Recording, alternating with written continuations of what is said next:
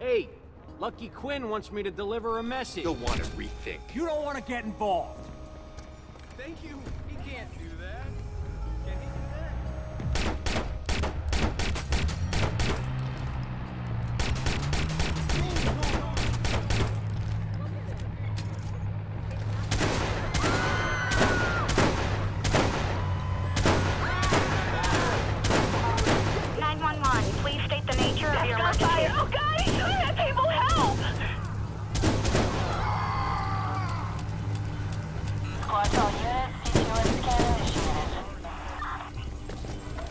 Whoa!